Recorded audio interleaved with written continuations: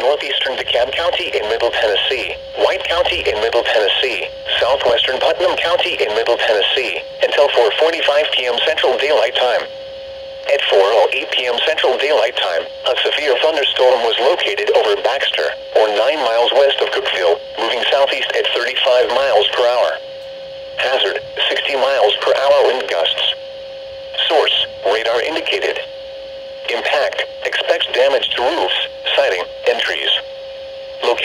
Impacted include Cookeville, Sparta, Baxter, Doyle, Hamptons Crossroads, Baker's Crossroads and Burgess Falls State Park.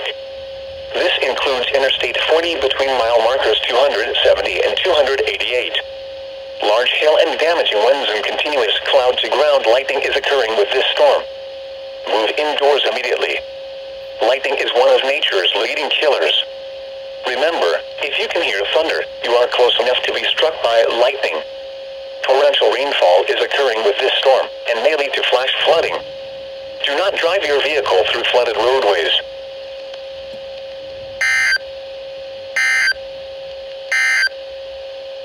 The National Weather Service in Nashville has issued a severe thunderstorm warning for southeastern Smith County in Middle Tennessee, north central DeKalb County in Middle Tennessee, southwestern Jackson County in Middle Tennessee, west central Putnam County in Middle Tennessee, until 4.15 p.m. Central Daylight Time.